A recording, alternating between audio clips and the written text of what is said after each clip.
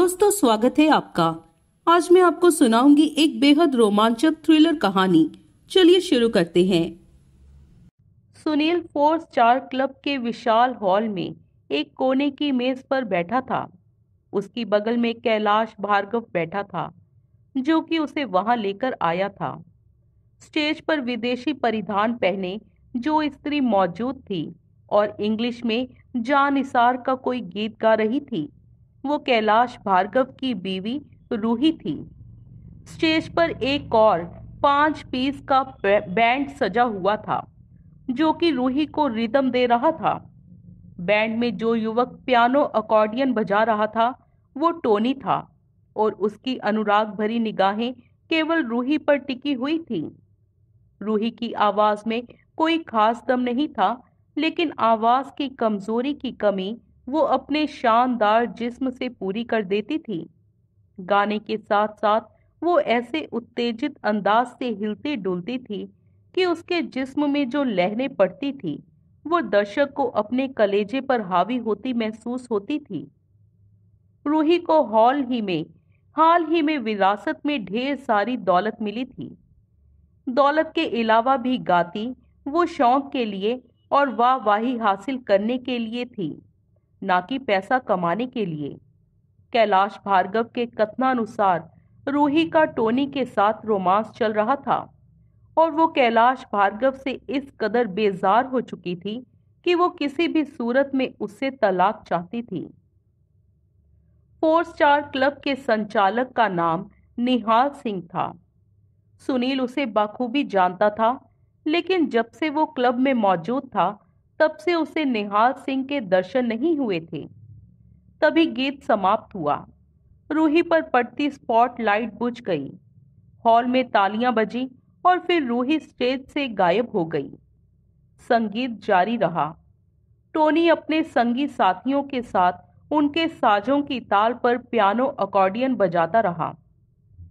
तुम्हारा लालच जायज़ है दोस्त, सुनील एक लकी स्ट्राइक का सिगरेट सुलगा चुकने के बाद बोला ऐसी शानदार बीवी को भला कौन छोड़ना चाहेगा? लेकिन मैं उसे रोके रख कैसे सकता हूँ? कैलाश भार्गव व्यग्र स्वर में बोला, तुम नहीं रख सकते, सुनील ने बड़ी संजीदगी से कहा, जब दिल से दिल की रिश्तेदारी ना रही हो, जब प्यार मोहब्बत की क्षमा बुझ चुकी हो तो कोई मर्द अपनी औरत को जबरन अपने साथ नहीं रख सकता। प्यारे लाल, अगर वो तलाक चाहती है तो तलाक दे दो उसे। ये तुमने मुझे राय दी है? भार्गव शिकायत भरे स्वर में बोला, ऐसी राय तो मैं किसी वकील से भी हासिल कर सकता था। तुम मेरे दोस्त हो, तुम मुझे कोई ऐसी राय दो जिससे मेरी बीवी मुझे छोड़कर ना जा सके। तुम्हें लालच अपनी बीवी का है या उसकी दौलत का? भार्गव ने बेचैनी से पहलू बदला। उसने उत्तर देने के लिए मुँह खोला लेकिन फिर होंठ भींच लिए। देखो, सुनील हमदर्दी बड़े स्वर में बोला यह हिंदुस्तान है, विलायत नहीं। यहाँ तलाक हासिल कर लेना कोई आसान काम नहीं। यहाँ दो चार गिनी चुनी वजह से ही तलाक होता है, और वे वजह ना पैदा हो, ऐसी कोशिश तुम कर ही सकते हो। वैसे तुम्हारा पुलंदा बांधने के लिए जो कोशिश रूही की तरफ़ से की जा सकती है, वो यही है कि तुम्हें बेवफा साबित किया जा सके। बेवफा? क्या मतलब? ये कि तुम्हारा किसी और औरत से लव अफेयर है और तुम अपनी पत्नी की तरफ़ वो ध्यान नहीं दे रहे हो, जो कि एक निष्ठावान पति को देना चाहिए। लेकिन ऐसी तो कोई बात नहीं है। नहीं है तो बड़ी खुशी की बात है। है तो सावधान हो जाओ। अपनी दाढ़ी दूसरे के हाथ में देने से परहेज करो। फिर रूही तुमसे तलाक नहीं हासिल कर सकेगी। और तलाक हासिल किए बिना वो तुम्हें छोड़ तो सकती है, लेकिन किसी दूसरे मर्द से। सुनील के अर्थपूर्ण निगाह स्टेज की तरफ़ डाली। शादी नहीं कर सकती। हम्म। लेकिन अगर वो तुमसे पीछा छुड़ाने को मरी जा रही है तो वो तुम पर बेवफाई की झूठी तोहमत लगाने की कोशिश कर सकती है? क्या मतलब? वो किसी लड़की को सिखा पढ़ाकर जबरन तुम पर थोप सकती है और फिर किसी पूर्व निर्धारित योजना पर काम करके तुम्हें गवाहों के सामने उसके साथ रंगे हाथों पकड़ सकती है। अगर वो ऐसे किसी षड्यंत्र में कामयाब हो गई तो वो तुमसे अदालत में तलाक हासिल करने में कामयाब हो जाएगी। मैं ऐसी नौबत नहीं आने दूँगा, मैं सावधान रहूँगा। बहुत समझदारी करोगे? वो खामोश रहा। एक बात बताओ, सुनील तनिक आगे को झुककर बोला, क्या सुलह की कोई गुंजाइश नहीं है? भार्गव के जबड़े भिंच गए। वे बोला, उस हरामजादे टोनी के होते नहीं। जब से रूही टोनी से मिली है, तभी से उसे मुझसे दहशत हो गई है। महीनों पहले से उसने मुझसे बोलना चालना बंद किया हुआ था, और फिर अब तो काफ़ी समय से वो मेरे साथ भी नहीं रह रही। अब कहाँ रहती है वो? इस बैंड मास्टर के साथ ही कहीं रहती होगी? अच्छा लेकिन तलाक से लिए रूही लगातार मेरे कान खा रही है। ये टोनी का बच्चा उसे सिखाता पढ़ाता रहता होगा ना? तुम उसे किसी सूरत में तलाक देने को तैयार नहीं होना सुनील उसके नेत्रों में झांकता हुआ बोला। भार्गव निगाहें चुराने लगा। अब तो तुम्हारी बीवी एकाएक बहुत रईस हो गई है, सुनील बोला। अगर वो तुम्हें एक मोटी रकम की नकद ऑफ़र दे तो क्या तुम उसको तलाक देना कबूल कर लोगे? भार्गव ने बेचैनी से पहलू बदला। फिर वो संकोचपूर्ण स्वर में बोला, अब तुमसे क्या छुपाना यार? बीवी तो हाथ से निकल ही गई है कुछ माल पानी हाथ आ जाए तो मेरे आँसू पहुँच जाएँगे। मेरे ख्याल से अपनी आज़ादी की कोई मुनासिब कीमत अदा करने में रूही को कोई एतराज़ नहीं होगा। अब तो वो खूब पैसे वाली औरत है। मगर वो ऐसी कोई ऑफ़र पेश करे तब ना। इस बारे में उससे बात की जा सकती है। मुझसे तो वो कलाम करके राज़ी नहीं। तुम कर देखो बात। अगर वो किसी इज्जतदार तरीके से कोई ढंग की रकम मुझे ऑफ़र करे तो मैं तलाक में अड़ंगा लगाने की कोशिश नहीं करूँगा। ठीक है, मैं उससे बात करूँगा। अगर वो बात करने को राज़ी ना हो तो उसके वकील से बात कर देखना। अच्छा कोई वकील भी है उसका? हाँ सूर्य नारायण उसकी विरासत की देखभाल भी वही कर रहा है। अब रूही पैसे वाली औरत है। तजुर्बेकार लोगों की ऐसी सेवाएँ, भला वो क्यों ना प्राप्त करे? ठीक है, अब यहाँ से प्रस्थान किया जाए। भार्गव ने सहमति में सिर हिलाया।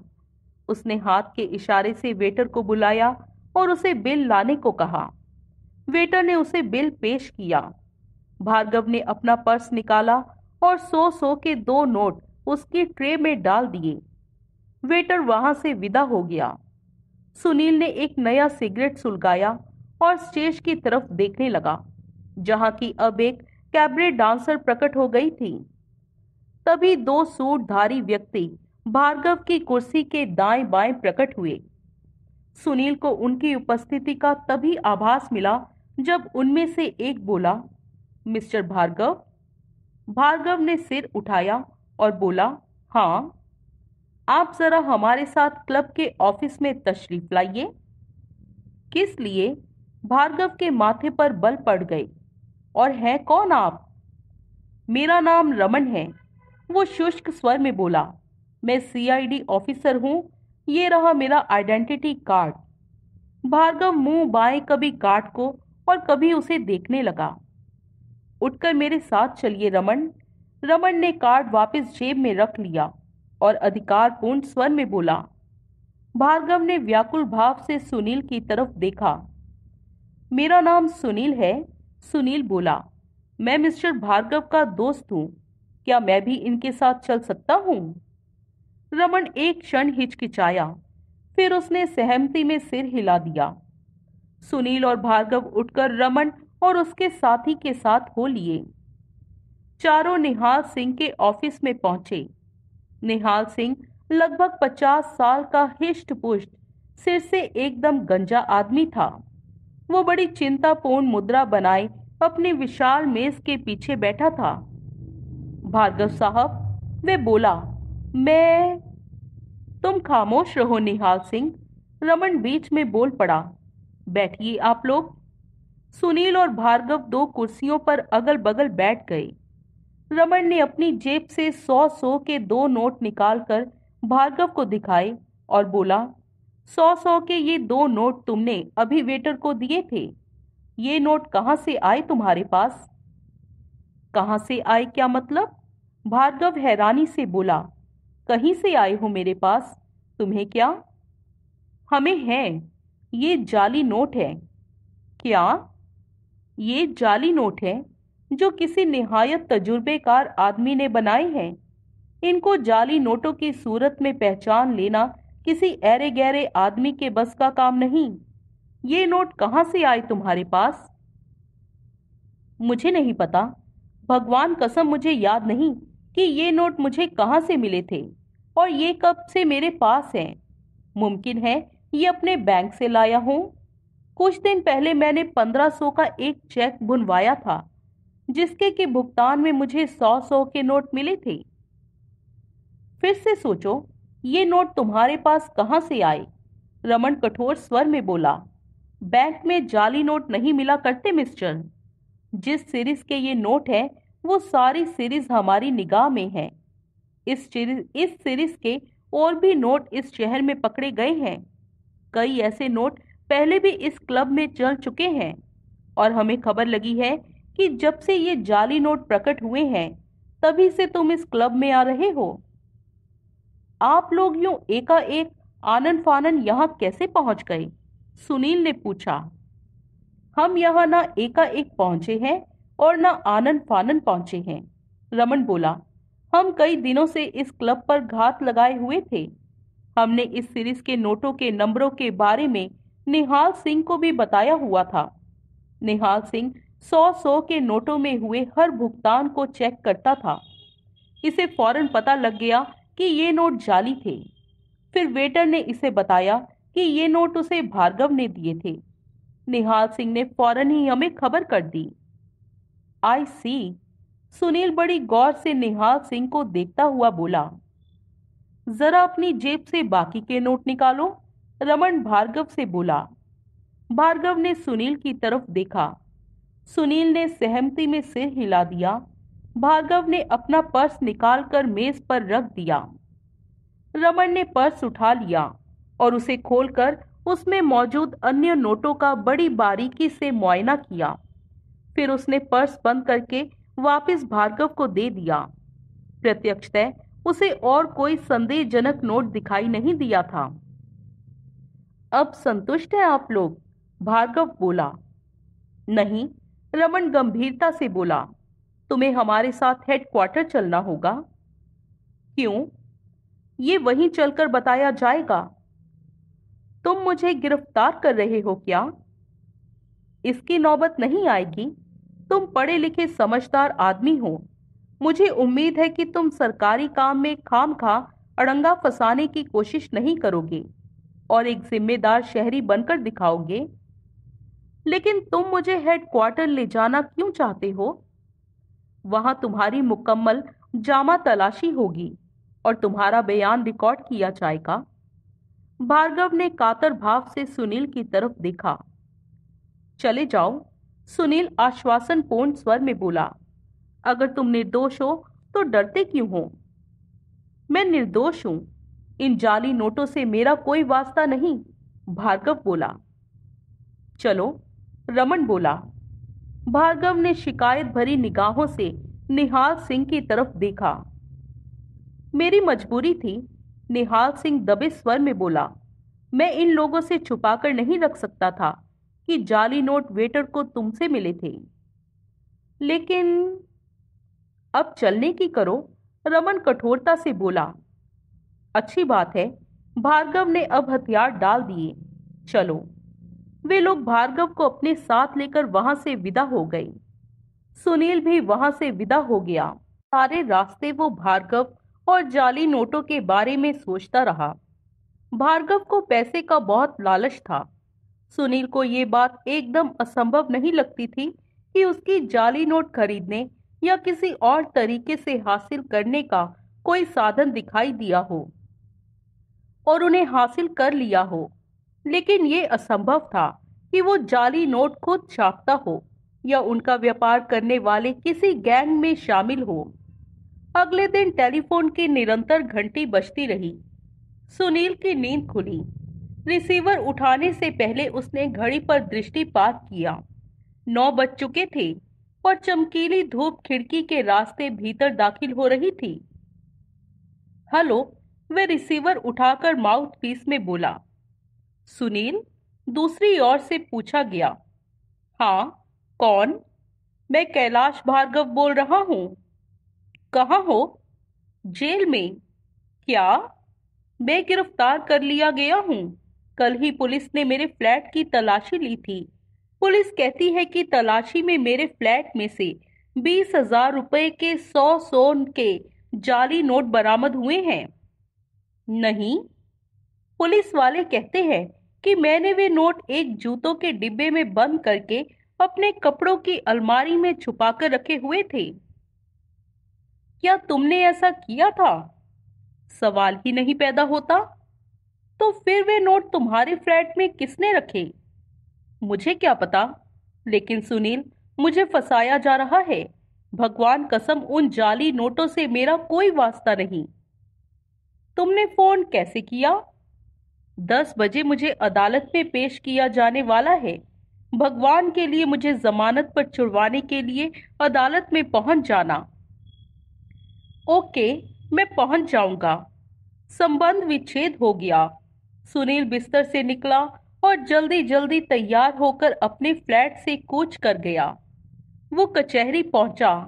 वहाँ उसने सबसे पहले भार्गव के लिए एक वकील किया और उसे सारी स्थिति समझाई। फिर वो वकील के साथ जज की कोर्ट में पहुँचा, जहाँ भार्गव को पेश किया गया था। जमानत के नाम पर सरकारी वकील यूँ भड़का, जैसे उसने गाली सुन ली हो। उसने भार्गव को एक खतरनाक मुजरिम और जाली नोट बनाने वालों के गिरोह का सरदार साबित करने की कोशिश की। उसने कहा कि अभी केवल बीस हज़ार के नोट बरामद हुए हैं। अगर उसे आज़ाद कर दिया गया तो वो फरार भी हो सकता था और जाली नोटों के उस चौक को नष्ट भी कर सकता था, जो कि अभी पुलिस के हाथ लगना था। जज ने सरकारी वकील के कथन से इत्तेफाक तो ज़ाहिर किया, लेकिन फिर भी उसने जमानत की स्वीकृति दे दी और जमानत की रकम मुकर्र की एक लाख रुपया नकद। भार्गव के वकील ने बहुत जिरह की कि वो रकम बहुत ज़्यादा थी लेकिन जज टस से मस न हुआ। हार कर वकील ने हथियार डाल दिए। अब एक लाख रुपए की नकद जमानत का इंतज़ाम करना सुनील का काम था। खुद उसके पास इतनी मोटी रकम होने का सवाल ही नहीं पैदा होता था। उसने ऐसी मोटी रकम अदालत में जमा करवाने में समर्थ अपने दो चार मित्रों को फ़ोन किया। रमाकांत भी जिनमें शामिल था। लेकिन संयोगवश कोई भी तुरंत उपलब्ध नहीं था। शाम तक बड़ी कठिनाई से सुनील ज्वाला प्रसाद को भार्गव की जमानत देने के लिए तैयार कर पाया। ज्वाला प्रसाद पेशेवर जमानत देने वाला आदमी था, जो पैसा कमाने के लिए वेश्याओं, कॉल गर्ल्स, जुआरियों, ठगों वगैरह की जमानतों का इंतज़ाम किया करता था। एक लाख रुपए की नकद जमानत की बात सुनकर वो भी सब पकाया। चार्ज क्या है? उसने पूछा। मेरे दोस्त भार्गव के पास जाली नोट बरामद हुए हैं, सुनील ने बताया। इस मामूली अपराध की एक लाख रुपया जमानत? हाँ ये तो बहुत ज़्यादा है। है, लेकिन क्या किया जाए? रकम जज ने फिक्स की है। तुम्हारे इस दोस्त के पास कोई ज़मीन जायदाद है? कोई सिक्योरिटीज या शेयर है? जमानत की जमानत के तौर पर वो कोई चल या अचल संपत्ति पेश कर सकता है क्या? अगर वो ऐसा कुछ कर सकता होता तो मैं तुम्हारे पास क्यों आया होता ज्वाला प्रसाद ज्वाला प्रसाद कुछ क्षण सोचता रहा और फिर बोला, तुम इस आदमी को अच्छी तरह जानते हो ना? हाँ वो मेरा दोस्त है। दोस्त तो हुआ? लेकिन वो आदमी भरोसे का है या नहीं? जमानत पर रिया होते ही वो कहीं फरार तो नहीं हो जाएगा। कहीं वो मेरा लाख रुपया डुबाने का सामान तो नहीं कर देगा। नहीं यार, वो एक जिम्मेदार नागरिक है। इतना जिम्मेदार कि वो अपने नोट खुद छापता है। ये उस पर इल्ज़ाम लगा है ज्वाला प्रसाद अभी हकीकत में कुछ साबित नहीं हो सका है। फिर भी मैं उसका जामिन हूँ, वो फरार नहीं होगा। अच्छी बात है, तुम कहते हो तो मैं जमानत भर देता हूँ। ज्वाला प्रसाद ने एक लाख रुपया भार्गव की जमानत के तौर पर जमा करा दिया। भार्गव रिहा कर दिया गया। सुनील उसे अपने साथ ले आया। अब सच सच बोलो, क्या किस्सा है? सुनील ने पूछा। भार्गव ने उत्तर नहीं दिया। देखो तुम बहुत झमेले में फंसे हुए हो। जो इल्ज़ाम तुम पर लगाया गया है, उसे तुम मामूली मत समझो और खामोश रहने से काम नहीं चलेगा। जब तक सारी बात नहीं बताओगे, तब तक मैं तुम्हारी कोई मदद नहीं कर सकूँगा। अब मैं आज़ाद हूँ, वो धीरे से बोला। अब मैं खुद भी काफ़ी कुछ कर सकता हूँ। क्या कर सकते हो? मैं ये पता लगाने की कोशिश कर सकता हूँ कि जाली नोटों के इस झमेले में मुझे किसने फंसाया है? कैसे? तुम महेश कुमार को जानते हो? वो प्राइवेट जासूस। हाँ वही। तुम मुझसे मदद मदद हासिल करने की फिराक में होगे। क्या हर्ज है? वो मेरा दोस्त है। वो बेकार का आदमी है। तुम्हारे लिए कुछ कर तो पाएगा नहीं, उल्टे तुम्हें किसी और झमेले में ज़रूर फंसा देगा। तुम उसे अच्छी तरह से नहीं जानते हो। वो बहुत उस्ताद है। वो बहुत बदमाश है। है भी तो वो मेरे साथ बदमाशी नहीं करेगा। देखो, रमाकांत कहीं गया है। उसे आ लेने दो। मैं तुम्हारे लिए मैं इंतज़ार नहीं कर सकता। मैं महेश कुमार के पास जाता हूँ। मर्ज़ी तुम्हारी। सुनील ने हथियार डाल दिए। वो चला गया। सुनील कुछ क्षण खामोश बैठा रहा। फिर उसने टेलीफोन उठाया और फोर स्टार क्लब में फ़ोन किया। वहाँ निहाल सिंह से संपर्क स्थापित हो जाने पर उसने उससे पूछा कि क्या वो बता सकता था कि उसकी रूही से कहाँ बात हो सकती थी? निहाल सिंह ने उसे एक फ़ोन नंबर बता दिया। सुनील ने उस नंबर पर फ़ोन किया। रूही लाइन पर आई तो उसने उसे बताया कि भार्गव उसे तलाक देने को तैयार है। सच, रूही को उसकी बात पर विश्वास नहीं हुआ। तुम्हारा मतलब है कि वो कोई बखेड़ा नहीं करेगा। ऐसा इंतज़ाम किया जा सकता है, सुनील सावधानी से बोला, कि वो कोई बखेड़ा ना करे। ओह, वो फ़ौरन सुनील की बात का मतलब समझ गई, यानी कि मुझे अपनी आज़ादी की कीमत अदा करनी होगी। यही समझ लो समझ लिया। ठीक है, मुझे सौदा मंजूर है। मैंने सुना है कि वो पुलिस की गिरफ्त में आ गया है। उस जंजाल से छूटने के लिए आजकल उसे वैसे भी पैसे की ज़रूरत होगी। इस बारे में मुझे बात किससे करनी होगी? उसके किसी वकील से या खुद उसी से? मुझसे बात करने से ही काम चल जाएगा, सुनील ने कहा। Okay, by me. तुम्हें मालूम ही होगा कि मैं फोर स्टार क्लब में गाती हूँ। आज रात दस बजे तुम वहाँ आ जाना, बात कर लेंगे। मैं अपने वकील को भी बुलवा लूँगी। ठीक है, सुनील बोला। उसने रिसीवर रख दिया। निर्धारित समय पर सुनील फोर स्टार क्लब पहुँचा। वहाँ स्टेज पर अपनी पियानो अकॉर्डियन के साथ टोनी मौजूद था, लेकिन रूही स्टेज पर दिखाई नहीं दे रही थी। सुनील ने एक वेटर से रूही के बारे में पूछा। वेटर सुनील को क्लब के पिछवाड़े के एक कमरे में छोड़ गया। वहाँ रूही एक ड्रेसिंग टेबल पर बैठी अपना मेकअप दुरुस्त कर रही थी। आओ, वो बोली, बैठो। सुनील उसके समीप बैठ गया। तो तुम हो सुनील? हाँ सुनील मुस्कुराया। तुम तो कुछ जाने पहचाने से लग रहे हो। लगता है मैंने तुम्हें हाल ही में कहीं देखा है। मुमकिन है। याद आया, कल रात तुम क्लब में कैलाश के साथ मौजूद थे। करेक्ट। तो कैलाश को अक्ल आ गई है? उसे पता लग गया है कि वो मुझे बाँध कर नहीं रख सकता। यही समझ लो। क्या चाहता है वो? तुम्हें मालूम ही है। ओह, कितना? ये तो तुम पर निर्भर करता है। उसने भी तो कोई रकम सोची ही होगी। लेकिन तुम अपनी आज़ादी की कीमत बेहतर आंक सकती हो। तुम ही किसी रकम का नाम लो। दस रुपए सुनील हड़बड़ाकर उसका मुँह देखने लगा। मज़ाक मत करो, वो शुष्क स्वर में बोला। मैं मज़ाक के मूड में नहीं हूँ। मैं खुद मज़ाक के मूड में नहीं हूँ। सुनो मिस्टर, कल तक मैं किसी भी कीमत पर कैलाश से अपनी आज़ादी खरीदने को तैयार थी। लेकिन ये कल की बात थी। आज वो मुसीबत में है और उसको उस मुसीबत से उबारने के लिए मैं अपनी एक उंगली तक हिलाने को तैयार नहीं। मुझे शुरू से ही शक था कि उसका किन्हीं गैर कानूनी हरकतों में कोई हाथ था। मुझे पता था, देर सवेर उसने पुलिस की गिरफ्त में ज़रूर आना था। सो वो आ गया। मुझे खुशी है इस बात की। मैं तो भगवान से प्रार्थना करती हूँ कि वो लंबा नपे। ऐसा नहीं होने वाला, वो निर्दोष है। उसके खिलाफ कुछ साबित नहीं हो सकेगा। वो ज़रूर बरी हो जाएगा। मुझे उम्मीद नहीं। मुझे है, और पति वो तुम्हारा हर हाल में रहेगा। अगर उसे सजा हो गई तो नहीं रहेगा। सजा याफ्ता मुजरिम की बीवी को तलाक, यूँ उसने चुटकी बजाई। मिल जाता है।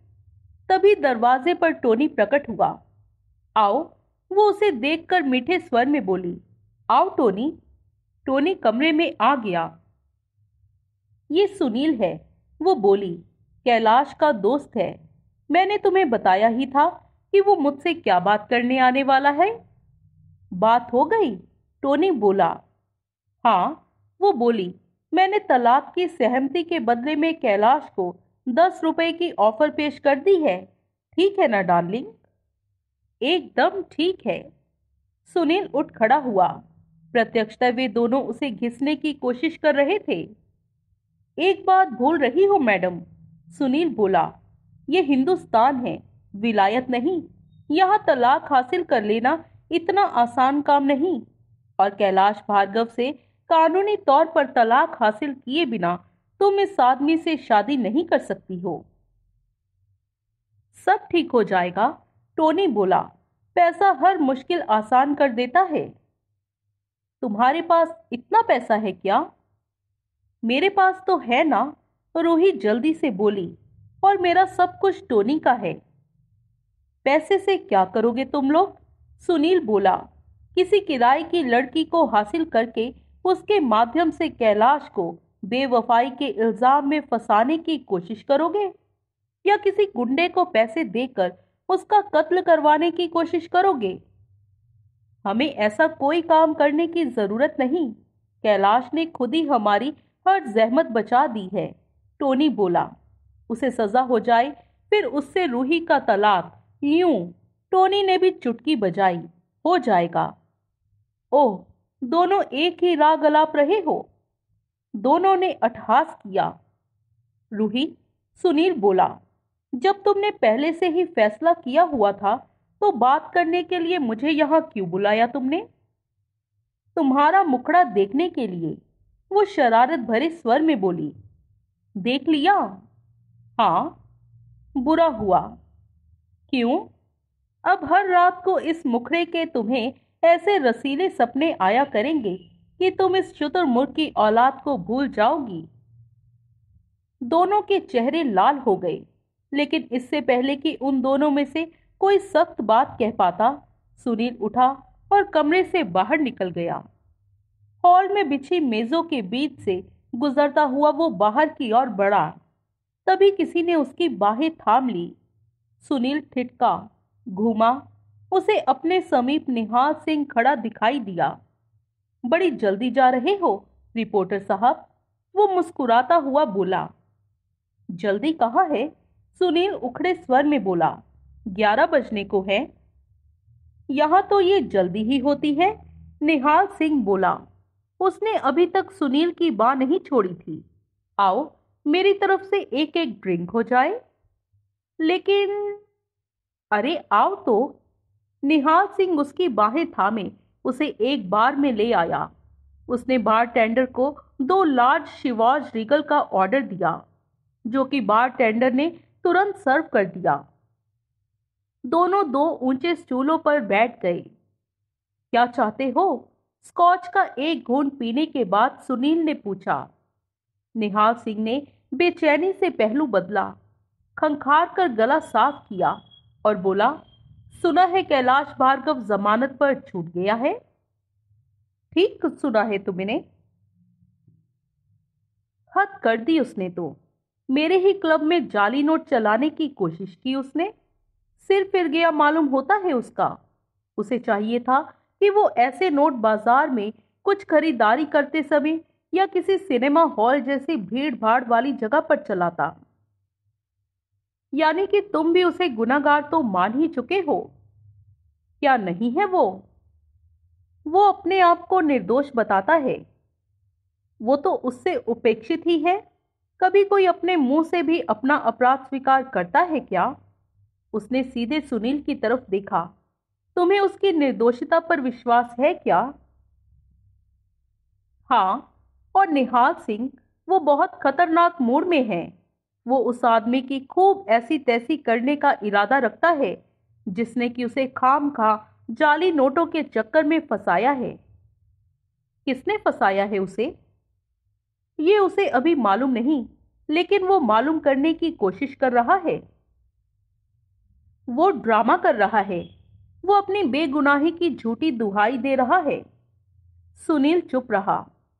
मुझे नहीं पता कि वो गुनहगार है या बेगुनाह। लेकिन एक बात मैं जानता हूँ कि जाली नोट यहाँ चलाने की उसकी उस हरकत ने मेरे लिए मुश्किल कर दी है। तुम्हारे लिए क्या मुश्किल कर दी है उसने?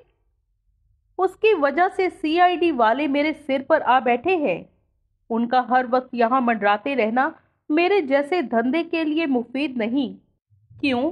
क्या यहाँ कोई गैर कानूनी धंधा भी होता है?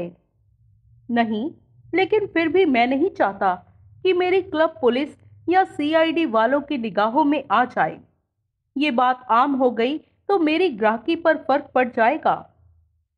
तुम ये सब मुझे क्यों बता रहे हो? इसलिए क्योंकि तुम कैलाश भार्गव के दोस्त हो। बात यह है कि आज वो यहाँ आया था। कुछ सूंघने की नीयत से आया मालूम होता था वो। सीआईडी अभी भी उसके पीछे लगे हुए हैं। वो बार बार यहाँ आएगा तो मेरी बदनामी होगी। मेरा धंधा खोटा हो जाएगा। देखो, तुम्हारा वो दोस्त है, इसलिए मुमकिन है वो तुम्हारी बात मान जाए। तुम उसे समझाओ कि वो मेरी क्लब का पीछा छोड़े। आज जब वो यहाँ आया था तो तुमने उससे बात की थी क्या? उसने मुझसे बात की थी। मैं तो उससे बात करना क्या, उसकी सूरत भी नहीं देखना चाहता था। क्या कह रहा था वो? वो अपनी बेगुनाही का राग अलाप रहा था। अब बताओ, मेरा इन बातों से क्या मतलब? तुम उसे समझाओ कि वो मेरा पीछा छोड़े और कहीं और जाए। तुम्हारा पीछा कैसे छोड़ दे वो? उसकी मुसीबत की शुरुआत जब यहाँ से हुई है तो वो और कहाँ जाए? पहले तो उसने यहाँ आना था। ओके ओके, अब आलिया वो। अब कम से कम उसे इतना तो समझाओ कि वो बार बार यहाँ के चक्कर ना लगाए। कम से कम तब तक ना लगाए, जब तक सीआईडी वाले उसका पीछा नहीं छोड़ते। अच्छी बात है, सुनील अपना गिलास खाली करता हुआ बोला, मैं उससे बात करूँगा। शुक्रिया। निहाल सिंह ने चैन की सांस ली। एक एक ड्रिंक और हो जाए? नहीं, सुनील उठ खड़ा हुआ। मुझे जाना है। और सुनील वहाँ से विदा हो गया। क्लब से निकलने से पहले उसने देखा कि टोनी फिर स्टेज पर प्रकट हो चुका था। अगले दिन सुनील को उम्मीद थी कि भार्गव उससे संपर्क स्थापित करेगा। जब ऐसा ना हुआ तो सुनील ने उसके ऑफ़िस में फ़ोन किया। वहाँ से उसे मालूम हुआ कि वो ऑफ़िस नहीं आया था। सुनील ने उसके फ्लैट पर फ़ोन किया, लेकिन उसे वहाँ से भी कोई उत्तर नहीं मिला। कहाँ चला गया था वो? फिर सुनील को उसके कथित दोस्त प्राइवेट डिटेक्टिव महेश कुमार का ख्याल आया। उसने डायरेक्टरी में उसका नंबर देखकर उस पर फ़ोन किया। तुरंत उत्तर मिला। महेश कुमार, सुनील ने पूछा, कौन बोल रहा है? सामने से पूछा गया, मेरा नाम सुनील है। मैं कैलाश भार्गव का दोस्त हूँ। मैं महेश कुमार बोल रहा हूँ। क्या चाहते हो? तुम्हें कैलाश भार्गव की कोई खोज खबर है क्या? मैं कल मिला था उससे। आज मुलाकात नहीं हुई उससे? नहीं। फ़ोन पर भी बात नहीं हुई क्या? नहीं। यानी कि तुम्हें उसकी कोई खोज खबर नहीं? हाँ। क्या तुम उसके लिए काम कर रहे हो? हाँ। तो वो देर सवेर तुमसे संपर्क ज़रूर स्थापित करेगा। अगर वो तुमसे मिले तो उसे कहना कि वो ज़रूर ज़रूर मुझसे बात करे। अच्छा सुनील ने फ़ोन रख दिया। शाम तक वो ब्लास के ऑफ़िस में व्यस्त रहा। छुट्टी होने तक कैलाश भार्गव का फ़ोन ना आया। अगले दिन भी उसे कैलाश भार्गव की कोई खोज खबर ना लगी। उससे अगले दिन भी जब वो पूर्ववत गायब ही रहा तो सुनील आशंकित हो उठा। उसने फिर उसके घर और ऑफ़िस फ़ोन किया। वो कहीं नहीं था। उसके ऑफ़िस वालों ने बताया कि वे भी भार्गव को तलाश कर रहे थे। कहाँ चला गया था भार्गव? फिर दोपहर बाद ज्वाला प्रसाद बगोले की तरह सुनील के ब्लास के ऑफ़िस में स्थित एक छोटे से कैबिन में दाखिल हुआ। वो कहाँ है सुनील? आते ही वो कहर भरे स्वर में बोला। कहाँ है कैलाश भार्गव? फूट गया है क्या वो? बैठो। ज्वाला प्रसाद दम तो लो। अरे, क्या दम लूँ? दम तो मेरा निकला जा रहा है। कहीं फरार तो नहीं हो गया तुम्हारा दोस्त? तुम्हें कोई खोज खबर है उसकी? पिछले दो दिनों से तो कोई खोज खबर नहीं है। सुनील ने स्वीकार किया। हे भगवान! क्या हो गया? तुम यूँ मरे क्यों जा रहे हो? सुनील ने पूछा। अरे, मेरे साथ सोमवार को उसने अदालत में पेश होना है। आज शुक्रवार है और अभी तक मुझे उसकी हवा भी नहीं मिल रही। अगर वो सोमवार सुबह अदालत में पेश ना हुआ तो मेरी एक लाख रुपए की नकद जमानत जब्त हो जाएगी। मेरा एक लाख रुपया डूबा जा रहा है और तुम पूछ रहे हो कि मैं मरा क्यों जा रहा हूँ? सुनील, मैंने तुम्हारे कहने पर उसकी जमानत भरी थी। तुम्हें उसको कहीं से पैदा करो? अरे, वो खुद ही आ जाएगा। सोमवार की सुबह आने में अभी बहुत वक्त बाकी है। लेकिन वो है कहाँ? मुझे पता तो लगे, और जिसका अभी तक पता नहीं लग रहा, क्या गारंटी है कि उसका सोमवार तक पता लग जाएगा? सुनील, मैं यूँ एक लाख रुपए का गच्चा खाने को तैयार नहीं हूँ। अगर मेरी रकम डूबी तो उसके सरासर जिम्मेदार तुम होगे। अरे, सुनो सुनो। मैं कुछ नहीं सुनता। तुम सुनो। और उसकी तलाश करो। उसको फ़ौरन तलाश करो। सोमवार सुबह से पहले उसे ज़िंदा या मुर्दा कहीं से भी खोद कर निकालो। सुनील स्थिति की गंभीरता से प्रभावित हुए बिना नहीं रह सका। उसने टेलीफोन का रिसीवर उठाया और महेश कुमार को फ़ोन किया। उसके लाइन पर आ जाने पर उसने पूछा, कैलाश भार्गव की कोई खबर लगी क्या? कौन बोल रहे हो? सुनील देखो, मेरा उससे फ़ौरन मिलना बहुत ज़रूरी है। इस सिलसिले में अगर तुम मेरी कोई मदद कर सको तो बहुत मेहरबानी होगी तुम्हारी। सॉरी, मैं तुम्हारी कोई मदद नहीं कर सकता। लेकिन तुम उसके लिए काम कर रहे हो। रिपोर्ट के लिए उसने तुमसे तो ज़रूर संपर्क स्थापित किया होगा। नहीं किया। कोई अंदाज़ा कि वो कहाँ हो सकता है? कोई अंदाज़ा नहीं। सुनील ने झुंझलाकर रिसीवर क्रेडिट पर पटक दिया। महेश कुमार की बातों से उसे ऐसा लगा था कि वो कैलाश भार्गव के बारे में जानता तो ज़रूर था, लेकिन वो सुनील को कुछ नहीं बताना चाहता था। साला जो कुछ भी जानकारी रखता था, वो उस पर सांप की तरह कुंडली मारकर बैठा हुआ था। कुछ पता लगा? ज्वाला प्रसाद ने व्यग्र भाव से पूछा। नहीं सुनील आश्वासन भरे स्वर में बोला, लेकिन चिंता की कोई बात नहीं, उसे मालूम है सोमवार सुबह उसने अदालत में पेश होना है, वो पेश हो जाएगा। लेकिन वो है कहाँ? ज्वाला प्रसाद ने आर्तनाद किया। वो कहीं छुपा हुआ है, जिन लोगों ने उसे फंसाया है, उनकी तलाश में वो छुप कर काम कर रहा है। ज्वाला प्रसाद हौसला रखो मैं भार्गव को खूब जानता हूँ। वो फरार होने वाला आदमी नहीं। अरे, किन्हें छुपकर तलाश करना रहा, कर रहा है वो? वो अकेला आदमी क्या कर सकता है? अगर जाली नोट बनाने वाले किसी गैंग ने उसे फंसाया है तो वो अकेला उस पूरे गैंग का क्या बिगाड़ लेगा? अकेला चना भाड़ नहीं फोड़ सकता मेरे भाई। उन लोगों को अगर भार्गव के इरादों का पता लग गया तो वो उसे मक्खी की तरह मसल कर रख देंगे। और क्या पता उस अक्ल के अंधे का पहले ही ये अंजाम हो चुका हो? क्या पता इस वक्त उसकी लाश किसी गटर में या समुद्र में पड़ी हुई सड़ रही हो? वो आ जाएगा, सुनील खोखले स्वर में बोला। आ जाएगा? ज्वाला प्रसाद हाथ नचाकर बोला। तुम्हारे कहने भर से आ जाएगा।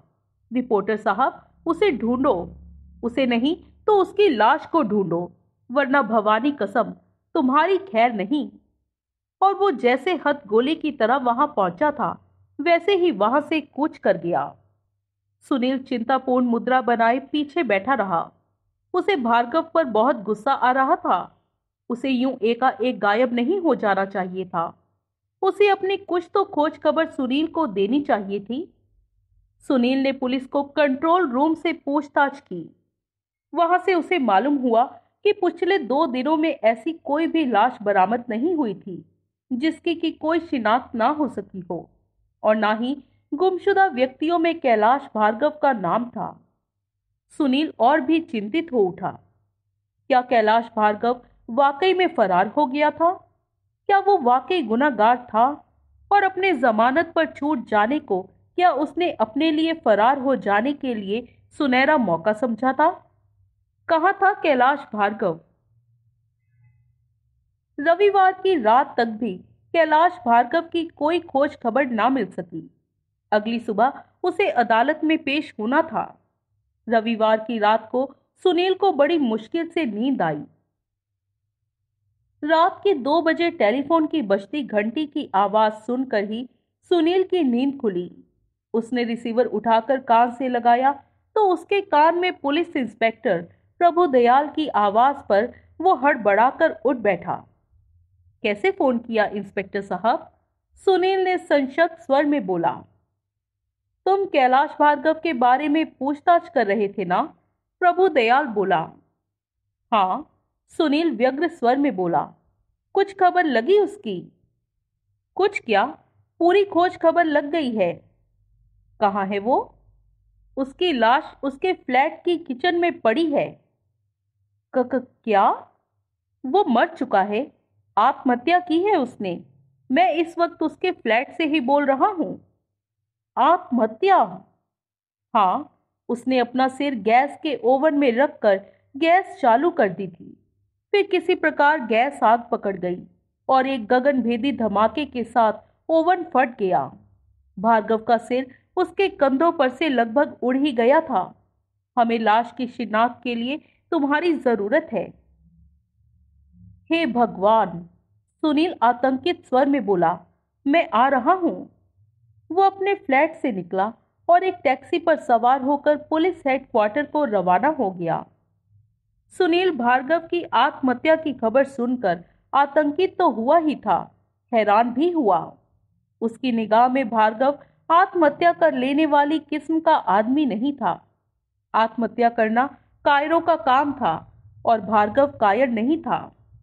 वो भार्गव के फ्लैट वाली इमारत के सामने टैक्सी से उतरा। उसने किराया चुकाया और लपकता हुआ उसके फ्लैट पर पहुँचा। वहाँ कई लोग मौजूद थे। रूही एक कोने में पड़ी एक कुर्सी पर खामोश बैठी थी। टोनी उसके पीछे खड़ा था और उसने बड़े अधिकार और आश्वासनपूर्ण ढंग से अपना एक हाथ उसके कंधे पर रखा हुआ था। इंस्पेक्टर प्रभुदयाल कमरे के बीचों बीच सीआईडी अधिकारी रमन के साथ खड़ा बातें कर रहा था। सुनील प्रभु दयाल के समीप पहुँचा। कहा है वो? सुनील ने फंसे स्वर में पूछा। प्रभु दयाल ने किचन की ओर संकेत कर दिया। सुनील किचन की चौखट तक पहुँचा। किचन का बुरा हाल था। गैस का विस्फोट इतना भयंकर हुआ था कि दीवारों से प्लास्टर उधड़ गया था। और वहाँ पर मौजूद सारा सामान चकनाचूर हो गया था। फर्श पर पड़े हुए कबाड़ के बीच में लाश पड़ी थी। सुनील को उसके कंधों के ऊपर एक मांस का लोथड़ा सा दिखाई दिया। सुनील ने एक ज़ोर की उपकाई ली और लाश की तरफ़ से आँखें फेर ली। इस हालत में मैं लाश की कैसे शिनाख्त कर सकता हूँ? सुनील बोला। अब इसकी ज़रूरत नहीं, प्रभु दयाल बोला। तुमसे पहले मिसेस भार्गव यहाँ पहुँच गई थी। वो अपने पति को तुमसे बेहतर जानती हैं। उन्होंने लाश की शिनाख्त कर दी है। लेकिन कैसे? सुनील बोला, उसका चेहरा तो उसकी बाई टांग देखो। उसकी बाई टांग पर घुटने से ऊपर एक काला सा निशान है, जिसे मिसिस भार्गव खूब पहचानती है। सुनील ने रूही की तरफ़ देखा। रूही का चेहरा एकदम भावहीन था। प्रभु दयाल तनिक आगे बढ़ा और रूही के सामने जा खड़ा हुआ। आप कहती हैं, वो बोला कि आप अपने पति के साथ यहाँ नहीं रहती थी? जी हाँ, रूही धीरे से बोली। और आप अपने पति से तलाक हासिल करने की कोशिश कर रही थी? जी हाँ, लेकिन मेरा पति तलाक में बहुत अड़ंगे लगा रहा था। प्रभु दयाल ने एक कुर्ती निगाह टोनी पर डाली और बोला, अपने पति से तलाक हासिल हो जाने के बाद आप टोनी से शादी करने का इरादा रखती थी क्या? ये कोई रास की बात नहीं है, इंस्पेक्टर, टोनी कठिन स्वर में बोला। हम दोनों एक दूसरे से प्यार करते हैं। इस बात की खबर सारी दुनिया को है। अगर कैलाश भार्गव तलाक में खाम खा के अड़ंगे ना अड़ाता होता तो हम कब के शादी कर चुके होते? ठीक है ठीक है, प्रभु दयाल बोला। ताव खाने की ज़रूरत नहीं है। और फिर सीआईडी ऑफिसर रमन के मुँह से आप सुन ही चुके हैं कि कैलाश जाली नोट छापने वाले एक गिरोह से ताल्लुक रखता था। वो जाली नोटों के साथ रंगे हाथों पकड़ा गया था और इस सिलसिले में अदालत में उस पर मुकदमा भी चल रहा है। वो इससे नावाकिफ नहीं था कि वो किस बुरी तरह फंस चुका था। उसको अदालत लंबी सजा सुना सकती थी और वो जेल जाने के ख्याल से भयभीत था। उसकी बीवी उसे पहले ही छोड़कर जा चुकी थी। उसके सामने कोई भविष्य नहीं था। ऐसे आदमी का पस्त हो जाना कोई बड़ी बात नहीं। पस्ती के इस आलम में अगर उसने आत्महत्या कर ली तो इसमें हैरानी की कौन सी बात है? कोई बात नहीं। प्रभु दयाल बोला, मिसिस भार्गव इस वक्त बहुत परेशान हैं। पुलिस को जितना सहयोग देना मुमकिन था, ये दे चुकी हैं। अब अगर आप इजाज़त दे तो इन्हें यहाँ से ले जाऊँ? सुनील ने रूही की तरफ़ देखा। कम से कम उसे रूही के चेहरे पर कोई परेशानी ना दिखाई दी। सुनील को तो वे वैसे ही इत्मीनान से वहाँ बैठी लगी, जैसे कि वो फोर स्टार क्लब में बैठती थी। ठीक है प्रभु दयाल बोला, अगर ये जाना चाहती हैं तो जा सकती हैं. रूही अपनी कुर्सी से उठ खड़ी हुई। टोनी के बड़े तत्पर ढंग से उसकी कोहनी के पास से बात थाम ली और उसे फ्लैट से बाहर को ले चला। रमन ने असहाय भाव से गहरी सांस ली और बोला, मैं उम्मीद कर रहा था कि हमें कैलाश भार्गव से जाली नोट छापने के धंधे में उसके साथ शरीक और लोगों की खोज खबर लगेगी। हम उससे कुछ पूछ ही नहीं पाए कि इसने आत्महत्या कर ली। वो सुनील की तरफ़ घूमा। तुम उसके दोस्त थे। उसकी किसी बात से या उसके किसी एक्शन से तुम्हें ऐसा कोई इशारा नहीं मिला कि वो जाली नोटों का धंधा करता था? नहीं, सुनील बोला, और प्रभु, मैं तुमसे एक बात कहना चाहता हूँ। कैसी बात?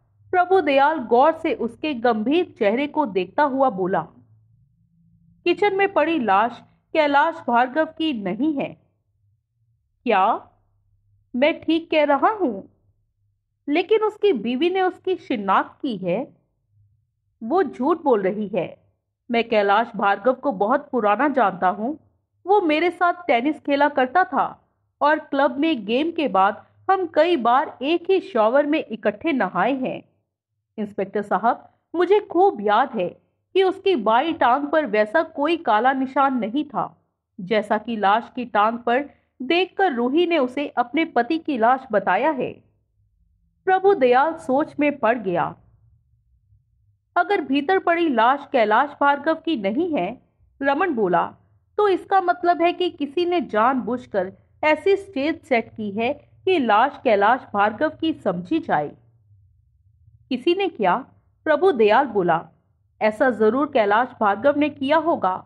उसने पुलिस का ध्यान अपनी ओर से हटाने के लिए ही ये चाल चली मालूम होती है। वो चाहता होगा कि हम उसे मरा समझ लें और केस क्लोज कर दें। भीतर पड़ी लाश के साथ भार्गव का कोई रिश्ता हो, ऐसा मुझे मुमकिन नहीं लगता। भार्गव एक छोटे अपराध से बचने के लिए इतना बड़ा अपराध नहीं कर सकता। सुनील ने कहा, वो कत्ल नहीं कर सकता प्रभु। मुझे पूरा विश्वास है कि भीतर किचन में मरे पड़े आदमी का कातिल कैलाश भार्गव नहीं। प्रभु, तुम्हें इस आदमी के कातिल का पता लगाना चाहिए। लेकिन लाश के जिस्म पर कपड़े तो कैलाश भार्गव के हैं। ये बात निर्विवाद रूप से साबित हो चुकी है कि वो कपड़े कैलाश भार्गव के हैं। मुमकिन है कत्ल से पहले मरने वाले को कैलाश भार्गव के कपड़े ज़बरदस्ती पहनाए गए हों। लेकिन अगर मरने वाला कैलाश भार्गव नहीं है तो वो कौन है? तुम मालूम कर सकते हो। पुलिस के पास ऐसी बातें मालूम करने के बड़े साधन होते हैं। देर सवेर तुम्हें पता लग कर रहेगा। लेकिन अगर लाश कैलाश भार्गव की नहीं है तो उसकी बीवी ने झूठ क्यों बोला? उसने शिनाख्त में लाश को अपने पति की लाश क्यों बताया? ये तो वही जाने, क्या पता उस खूबसूरत चेहरे के पीछे कौन से खतरनाक इरादे छुपे हुए हैं? प्रभु दयाल खामोश रहा। अब मुझे इजाज़त है? सुनील बोला, कल सुबह कैलाश भार्गव के चक्कर में मैंने अदालत में भी जाना है। तुम्हें उम्मीद है कि कल सुबह वो अदालत में पेश हो जाएगा? प्रभु दयाल ने पूछा। उम्मीद तो पूरी है वो ना पेश हुआ तो ज्वाला प्रसाद का तो हार्ट फेल हो जाएगा। ज्वाला प्रसाद कौन? हाँ उसने कैलाश भार्गव की एक लाख रुपए की नकद जमानत भरी हुई है। ओ। ठीक है, बंदा चला। प्रभु दयाल ने सहमति में सिर हिला दिया। सुनील इमारत से बाहर निकल आया और वापस अपने फ्लैट पर पहुँचा। बाकी की तमाम रात बड़े बड़े डरावने सपने देखते रहा। रह रहकर उसकी आँखों के सामने कैलाश भार्गव की सूरत उभर आती थी। फिर उसकी सूरत का स्थान वो क्षत विक्षत सिर वाली लाश ले लेती थी, जो उसने कैलाश भार्गव के फ्लैट की किचन के फर्श पर पड़ी देखी थी। कभी उसे दिखाई देता था कि रूही कैलाश भार्गव की चिता के सामने खड़ी कोई मातमी गीत गा रही थी, और उसके पीछे खड़ा टोनी पियानो अकॉर्डियन पर कोई रूही के गीत से ही मिलती जुलती मातमी धुन बजा रहा था। उसने नींद में ही अपने सिर को झटका तो वो दृश्य गायब हो गया और उसके स्थान पर सुनील के मानस पटल पर ज्वाला प्रसाद का चेहरा उभरा। उसे दिखाई दिया कि ज्वाला प्रसाद अदालत में ज़ोर ज़ोर से अटहास कर रहा था और एक विशाल सूट केस में कैलाश भार्गव के शरीर का एक एक अंग बारी बारी निकालकर जज के सामने पेश कर रहा था। अगली सुबह कैलाश भार्गव अदालत में पेश ना हुआ। वो अदालत की इमारत में कहीं भी सुनील को दिखाई ना दिया। फिर जज के आदेश पर अदालत में कैलाश भार्गव के स्थान पर उसके जामिन ज्वाला प्रसाद को पेश होना पड़ा। जज ने उसे कहा कि या तो वो अभियुक्त को अदालत में पेश करे या फिर वो उसकी जमानत की रकम की जब्ती का हुक्म सुना देगा। ज्वाला प्रसाद जज से संबोधित हुआ। योर ऑनर मुझे खेद है कि अभियुक्त का अदालत में पेश हो पाना संभव नहीं है। अभियुक्त की कल रात मौत हो गई है। उसने आत्महत्या कर ली है और उसकी लाश इस वक्त मोर्ग में मौजूद है। मौजूदा हालत में क्योंकि अब जमानत की ज़रूरत नहीं रह गई है, इसलिए मैं दरख्वास्त करता हूँ कि मेरी जमानत की रकम मुझे वापस दिलवा देने का हुक्म सुना दिया जाए।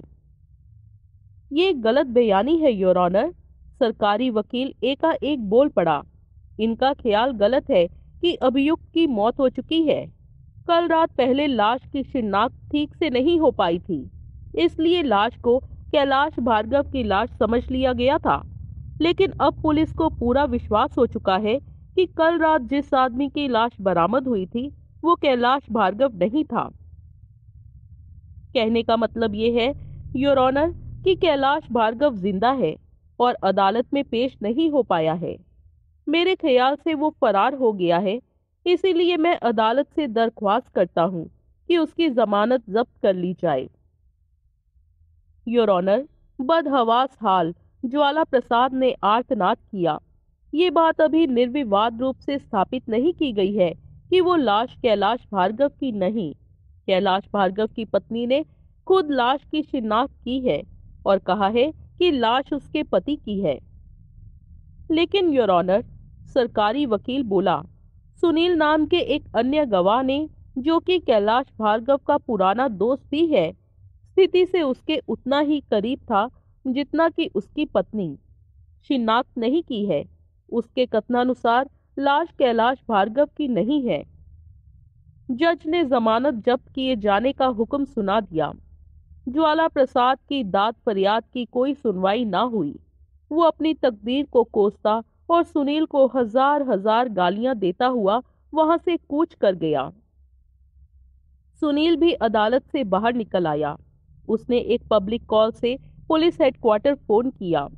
प्रभु दयाल के पूछने पर उसने बताया कि कैलाश भार्गव अदालत में पेश नहीं हुआ था।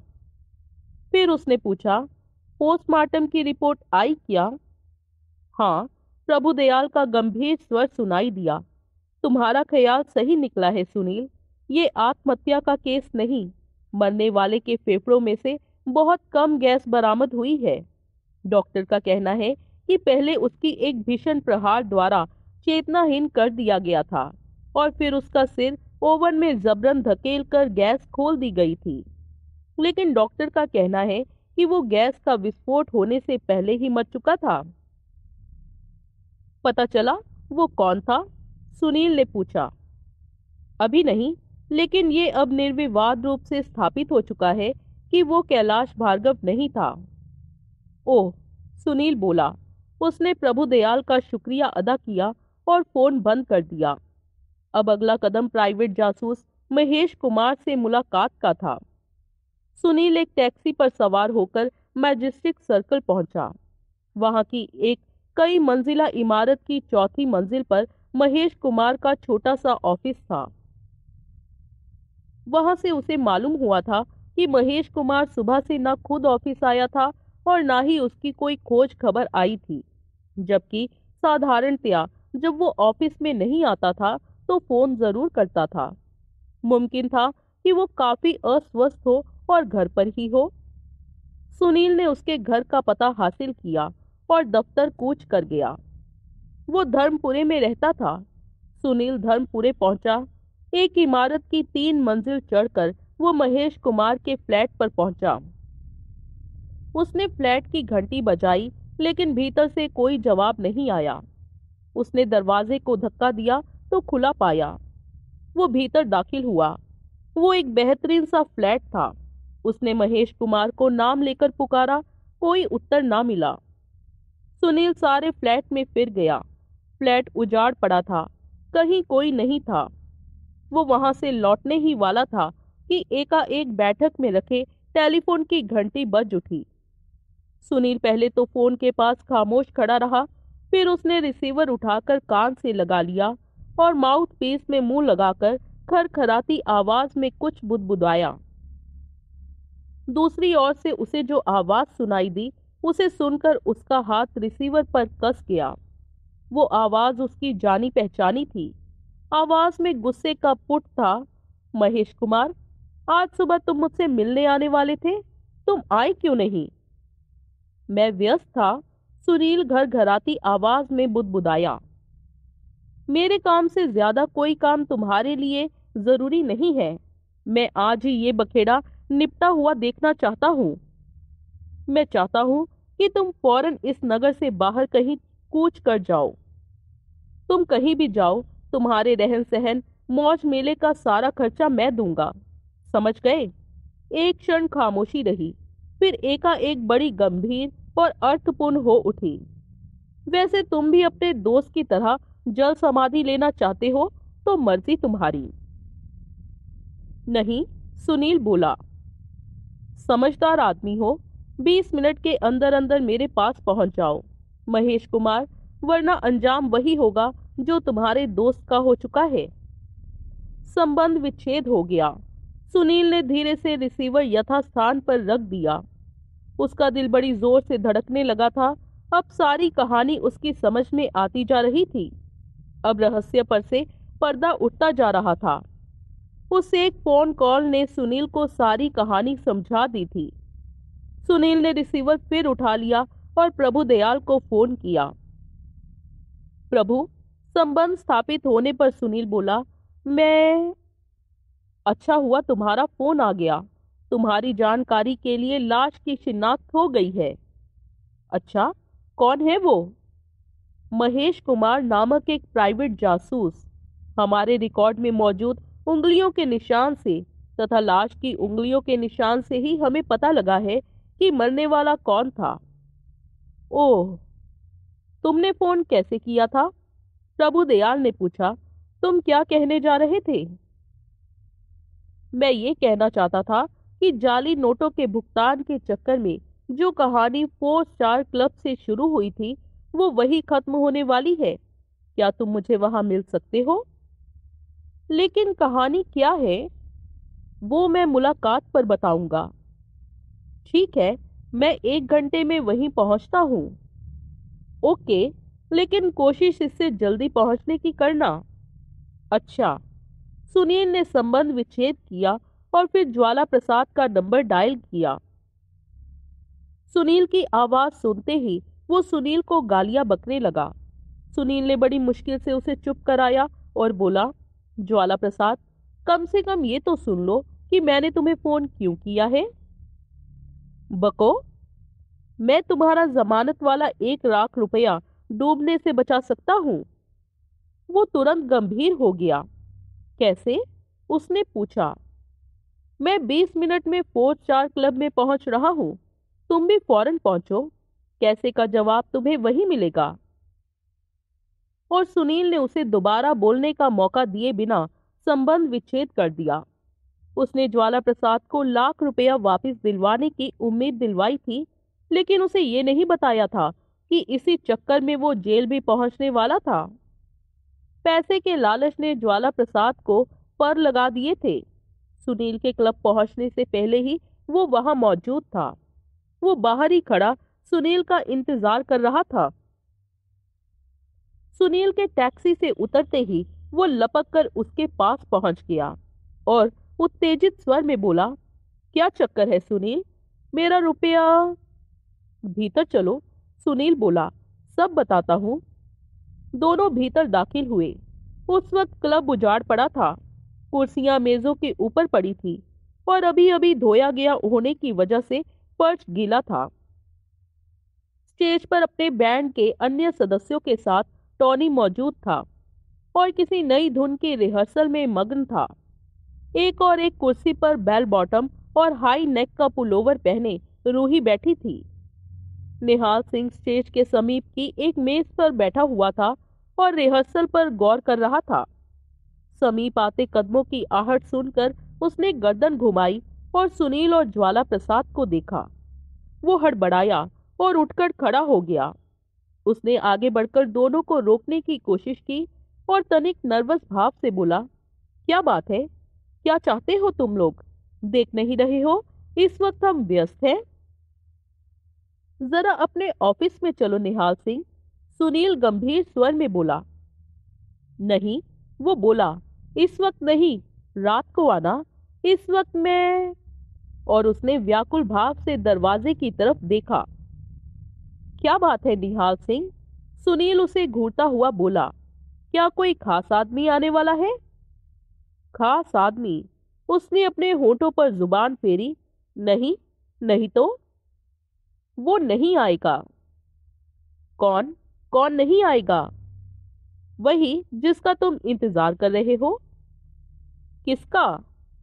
महेश कुमार का। वो मर चुका है। निहाल सिंह ने थूक निगली उसने कुछ कहने की कोशिश की लेकिन बोल ना फूटा। फिर बड़ी मेहनत से उसने अपने आप पर काबू पाया और बोला क्या कह रहे हो तुम? अपने ऑफ़िस में चलो बताता हूँ और अपने बैंड मास्टर और अपनी कोयल को भी वहाँ बुला लो। निहाल सिंह ने पहले विरोध करना चाहा, लेकिन फिर इरादा बदल दिया। उसने टोनी और रूही को अपने साथ आने के लिए कहा। सब निहाल सिंह के ऑफ़िस में पहुँचे। अब बोलो, निहाल सिंह बोला, क्या कहना चाहते हो? सुनील ने एक गहरी सांस ली और बोला, मेरा एक दोस्त था, जिसका नाम कैलाश भार्गव था। कैलाश भार्गव तुम्हारी सिंगर रूही का पति था, जो कि अपने पति से तलाक चाहती थी। लेकिन कानूनी पेचीदगियाँ से कुछ ऐसी थी कि कैलाश भार्गव के सहयोग के बिना रूही को तलाक हासिल नहीं हो सकता था। कैलाश भार्गव को रूही से कोई मोहब्बत बाकी नहीं रही थी, लेकिन वो रूही से किनारा करके रूही को ताजी ताजी हासिल हुई दौलत से भी किनारा नहीं करना चाहता था। इसलिए वो रूही को आज़ादी दे देने की कोई मुनासिब कीमत हासिल किए बिना तलाक के लिए राज़ी नहीं हो रहा था। रूही टोनी से शादी करना चाहती थी, जो कि अपने पहले पति से तलाक हासिल किए बिना हो नहीं सकती थी। टोनी शादी के लिए इसलिए उतावला हो रहा था क्योंकि वो जल्दी से जल्दी रूही की दौलत पर अपने दांत गड़ाना चाहता था। झूठ, टॉनी चिल्लाया। मैं रूही से मोहब्बत करता हूँ, इसकी दौलत से नहीं। इसकी दौलत का मेरी मोहब्बत से कोई वास्ता नहीं। एक मिनट के लिए बहस के लिए मान लो कि तुम्हारी निगाह रूही की दौलत पर भी थी। रूही की दौलत तुम्हें रूही को हासिल किए बिना नहीं मिल सकती थी। और रूही को हासिल करने में अड़ंगा बना खड़ा था, कैलाश भार्गव। इस अड़ंगे को दूर करने के लिए तुमने एक योजना बनाई और उस योजना को कार्य रूप में परिणत करने के लिए तुमने निहाल सिंह की मदद मांगी। निहाल सिंह केवल क्लब ही नहीं चला रहा, क्लब के माध्यम से ढेरों जाली नोट भी चला रहा था। लोग यहाँ मौज मेले के लिए आते थे। कई लोग निहाल सिंह को चेक देकर नकद नोट हासिल किया करते थे। निहाल सिंह उन लोगों पर जाली नोट थोप देता था, जिनकी तरफ़ तरंग में किसी का ध्यान नहीं जाता था। सुनील ने निहाल सिंह की तरफ़ देखा। वो बहुत आंदोलित सा बैठा था, लेकिन खामोश था। टोनी, सुनील आगे बढ़ा। निहाल सिंह तुम्हारी मदद करने के लिए तैयार हो गया। वैसे तुम्हारी मदद करने में इसका अपना ही स्वार्थ था। सीआईडी वालों की निगाह इसकी क्लब पर लग गई थी और वो चाहता था कि जाली नोटों के मामले में किसी प्रकार सीआईडी वालों का ध्यान उसकी तरफ़ ना जाए। तुम दोनों की स्वार्थ सिद्धि एक ही बलि के बकरे से हो सकती थी और वो बलि का बकरा था कैलाश भार्गव। निहाल सिंह, तुमने ऐसा इंतज़ाम किया? सीआईडी वालों को ऐसा लगे कि क्लब में जाली नोट कैलाश भार्गव चला रहा था। वो यहाँ अक्सर आता था, इसीलिए कुछ जाली नोट उस पर थोपना तुम्हारे लिए कठिन काम नहीं था। तुमने वेटर द्वारा लाए कैलाश भार्गव के असली नोटों को जाली नोटों में बदल दिया और उस बेचारे को फंसवा दिया। जब शुरू में कैलाश भार्गव ने कहा था कि जाली नोटों के चक्कर में किसी ने उसे फंसवाया था तो मुझे उसकी बात पर विश्वास था। लेकिन बाद में जब उसके फ्लैट की तलाशी में बीस हज़ार के जाली नोट बरामद हो गए तो उस पर विश्वास हिल गया। सुनील ने रूही की तरफ़ देखा और बोला, मैडम, तुम्हारे लिए फ्लैट में बीस हज़ार के जाली नोट प्लांट कर देना मामूली काम था। तुम उस फ्लैट में रहती रही थी, इसीलिए उसकी चाबी तुम्हारे पास थी। निहाल सिंह ने तुम्हें जाली नोट दिए, जिन्हें कि तुम चुपचाप अपने पति के फ्लैट में छुपा आई। उन जाली नोटों की पुलिस द्वारा बरामदी के बाद तुम्हारा काम आसान हो जाने वाला था। जाली नोटों के चक्कर में तुम्हारे पति को सजा हो जाती और फिर तुम्हें बड़ी सहूलियत से तलाक हासिल हो जाता। स्कीम बड़ी शानदार थी, लेकिन इसमें एक ही नुक्स था। तुम्हारा पति न केवल निर्दोष था, बल्कि वो भाम भी गया था कि असल में उसके खिलाफ क्या कुचक्र रचा जा रहा था। अपने संदेह की पुष्टि के लिए उसने अपने एक मित्र, प्राइवेट जासूस की सेवाएँ प्राप्त की। सुनील फिर निहाल सिंह की तरफ़ घूमा। निहाल सिंह, तुम्हें कैलाश भार्गव से ऐसी होशियारी की उम्मीद नहीं थी। जब तुम्हें यह अनुभव हुआ कि वो तो तुम्हारा भांडा फोड़ने की फिराक में था तो तुम घबरा गए। उस मुसीबत से निकलने का तुम्हारे पास एक तरीका था, और वो था कैलाश भार्गव का खात्मा। तुमने न केवल उसे खत्म करना था, बल्कि तुम्हारे लिए उसकी लाश को गायब कर देना भी ज़रूरी था। ऐसा तुम्हारे लिए दो वजह से ज़रूरी था। एक तो तुम ये नहीं चाहते थे कि पुलिस द्वारा उस कत्ल की तफ्तीश हो। दूसरे, लाश गायब हो जाने से वो फरार समझा जाता और जाली नोटों के मामले में सीआईडी वालों का सारा ध्यान उसी की तरफ़ लगा रहता। और किसी को तुम्हारी क्लब की टो लेने का ख्याल भी ना आता। तब तक निहाल सिंह का सारा चेहरा पसीने से नहा गया था और उसकी आँखों में बदहवासी की छाया तैर आई थी। निहाल सिंह सुनील फिर बोला, तुमने कैलाश भार्गव का कत्ल करवा दिया और उसकी लाश समुद्र में फेंकवा दी। आज तुमने अपनी तरफ़ से जो फ़ोन महेश कुमार को उसके घर पर किया था, वो वास्तव में मैंने सुना था। मैंने महेश कुमार बनकर तुमसे बात की थी। निहाल सिंह, मैंने फ़ोन पर तुम्हारी आवाज़ फ़ौरन पहचान ली थी। तुमने महेश कुमार से टेलीफोन पर पूछा था कि क्या वो भी अपने दोस्त की तरह जल समाधि लेना चाहता था? मैं तभी समझ गया था कि कैलाश भार्गव की लाश को वज़न बांधकर समुद्र में डुबो दिया गया था। फिर तुमने अपने आदमियों को कैलाश भार्गव के फ्लैट पर यह देखने के लिए भेजा कि वो अपने पीछे ऐसा कुछ तो नहीं छोड़ गया था, जो तुम्हारे लिए खतरनाक साबित हो सकता। वह तुम्हारे आदमियों के लिए एक नई मुसीबत आन खड़ी हुई थी। अभी तुम्हारे आदमी फ्लैट में ही थे कि वहाँ ऊपर से महेश कुमार आ गया। तुम्हारे आदमियों ने महेश कुमार पर किसी भारी चीज़ का वार करके उसे मार डाला। लेकिन तुम्हारी तरफ़ से उन्हें ऐसा कोई निर्देश नहीं था। इसलिए उन्होंने इस कत्ल के बारे में तुम्हें बताया नहीं। लेकिन हकीकत अगर तुम्हारे आदमी ये बात तुम्हें बता देते तो तुम उन पर खफा होने के स्थान पर शायद उन्हें शाबाशी देते, बोनस देते, क्योंकि तब तक महेश कुमार भी तुम्हारे जाली नोटों के रैकेट के बारे में कुछ अपनी खोजबीन द्वारा और कुछ कैलाश भार्गव से हासिल हुई जानकारी के द्वारा काफ़ी कुछ जान गया था। इसलिए जब कैलाश भार्गव एकाएक गायब हो गया तो उसको असलियत का बखूबी अंदाज़ा हो गया। वो तुम्हारे पास पहुँचा। उसने तुम्हें बताया कि वो क्या जानता था, और तुम पैसे द्वारा उसका मुँह बंद करने को तैयार हो गए। आज सुबह वो तुम्हारे पास आने वाला था। पुलिस का ध्यान उसकी ओर आकर्षित होने से पहले ही तुम उसे कहीं खिसका देना चाहते थे, और यही तुम दोनों में फैसला हुआ था। तुम उसे खूब रुपया दोगे। उसके और भी तमाम खर्चे उठाओगे और बदले में वो राजनगर छोड़कर कहीं चला जाएगा।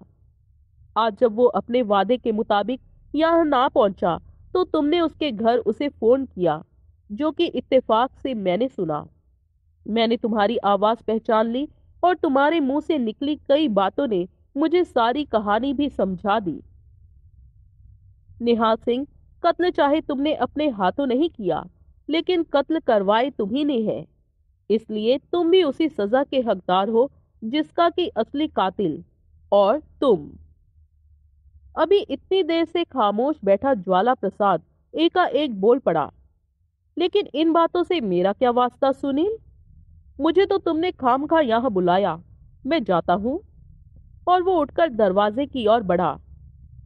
रुक जाओ ज्वाला प्रसाद सुनील कठोर स्वर में बोला।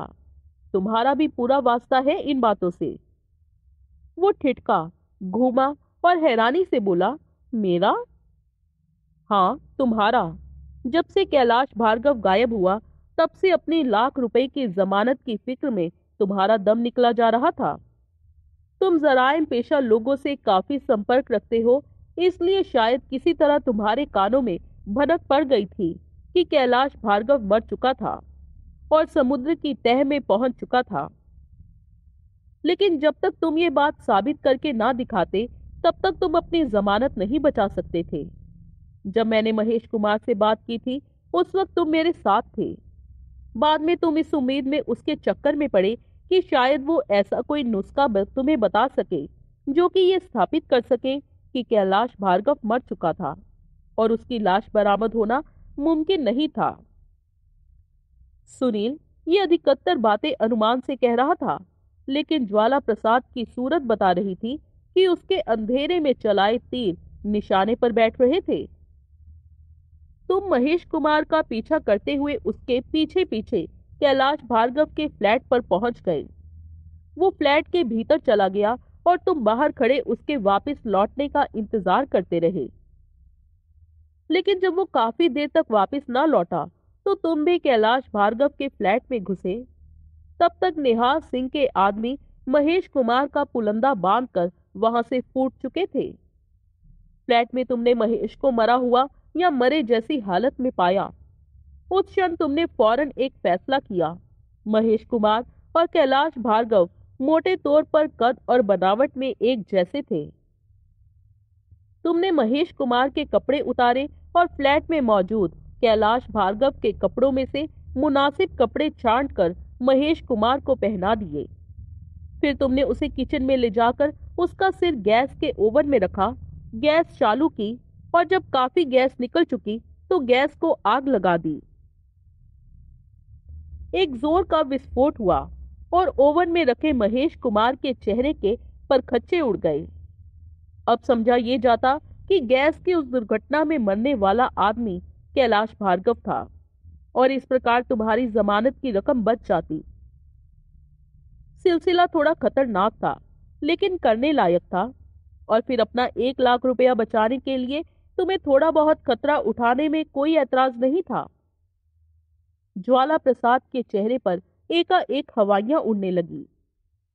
ज्वाला प्रसाद तुम्हारी अक्ल खराब हो गई थी जो तुमने ये सोच लिया था कि इतना बड़ा स्टंट मारकर तुम बचे रह सकते थे। वो खामोश रहा। वैसे तुम्हारी तकदीर अच्छी थी। इस सारे सिलसिले में एक अप्रत्याशित मदद तुम्हें खाम खा मिल गई थी। सुनील ने रूही की तरफ़ देखा। मैडम जी से। रूही ने सिर उठाकर सुनील की तरफ़ देखा, लेकिन उसके चेहरे पर कोई भाव नहीं आया।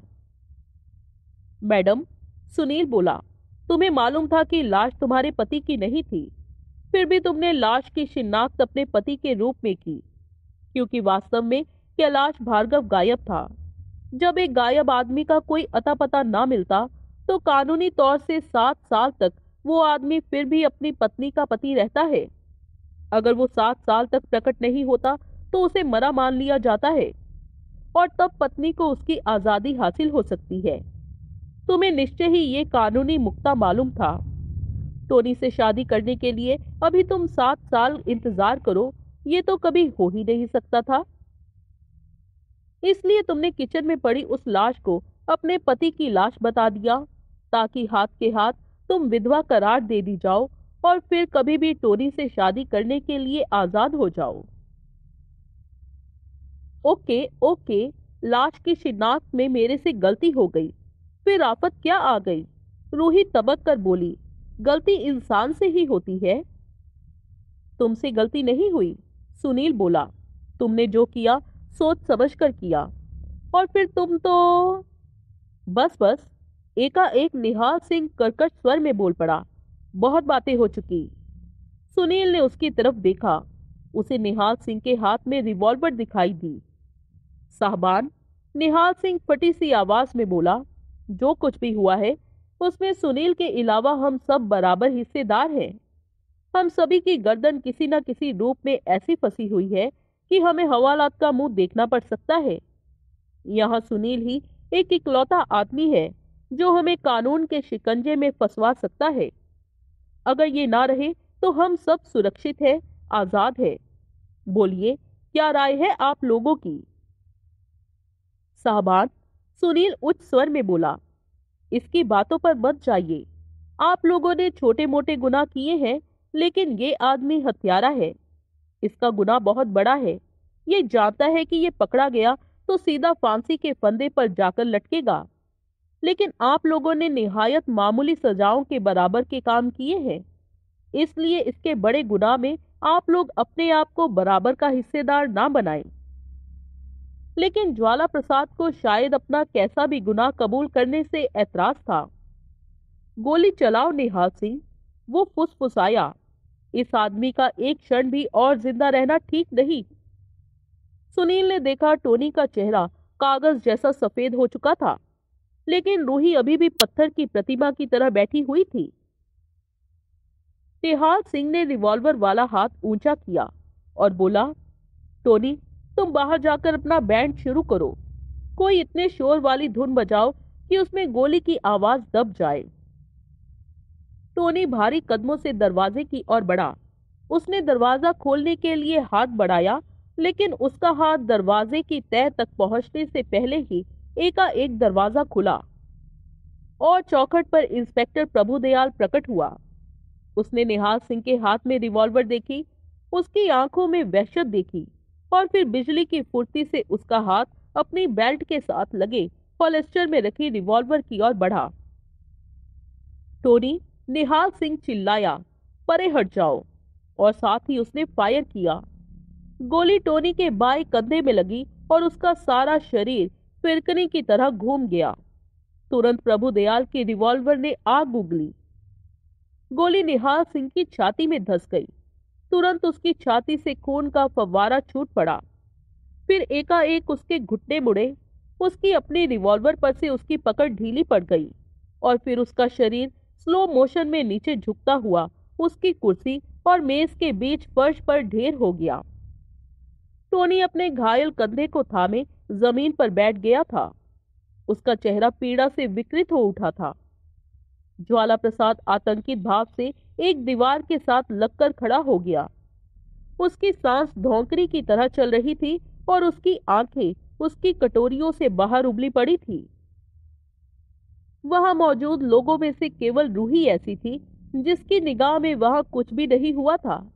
उसका चेहरा अभी भी भावहीन था और वह, वो वहाँ यूँ खामोश बैठी थी जैसे वहाँ उसके अलावा कोई भी मौजूद नहीं था।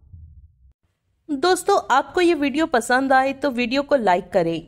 आपको ये कहानी कैसी लगी, कमेंट में ज़रूर बताएँ। मुझे और इस कहानी को यहाँ तक सुनने के लिए थैंक यू मिलते हैं नेक्स्ट वीडियो में। तब तक के लिए अपना और अपनों का बहुत सारा ख्याल रखें।